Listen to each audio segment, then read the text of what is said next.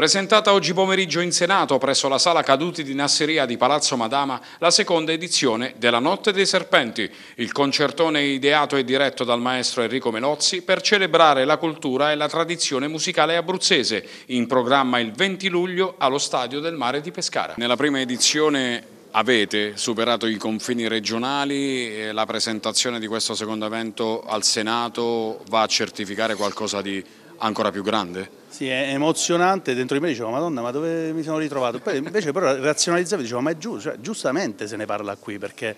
è un, un progetto eh, che ha varcato anche quelli internazionali perché ci sono arrivate delle richieste dalla Corea, cioè, eh, perché l'hanno visto nella televisione Raimondo, ha mandato in onda anche in Asia, in Africa, in America, in Sud America eh, questa, questo, la trasmissione no? e quindi ci sono arrivate delle richieste di andare a fare concerti lì e spero che prima o poi andremo nelle grandi comunità abruzzesi per esempio in Canada, penso agli Stati Uniti a portare questo lavoro per, far, per farli gioire no? della bellezza del loro Abruzzo che finalmente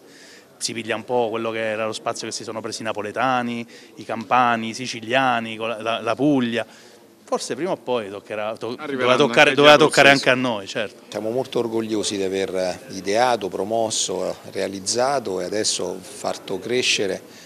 questo evento eh, magistralmente orchestrato dal maestro Enrico Melozzi, una nostra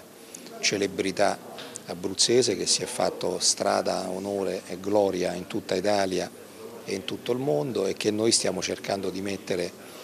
in condizioni di poter esprimere il meglio di sé e il meglio della cultura popolare e tradizionale abruzzese perché possa essere conosciuta nella maniera più autentica, più bella ma anche più moderna e accattivante. Un modo nuovo di proporre la nostra tradizione culturale che è stata troppo poco proposta in passato e a volte anche proposta decisamente male, magari con forme grottesche o poco adeguate e poco eh, diciamo, di, dignitose dal punto di vista dello spessore artistico e culturale. Stiamo impegnando i nostri migliori artisti per dare un'immagine piena, bella, autentica del nostro patrimonio che possa far sentire e far crescere anche il senso di appartenenza, il senso della comunità, il senso